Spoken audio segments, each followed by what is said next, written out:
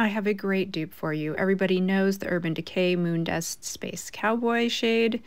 It's just a beautiful shade, really works for everybody, but it's $24. Moira has these lucent cream shadows, and this one in Jupiter is a straight up dupe for Moondust. Only difference, it's $7.50. Great deal.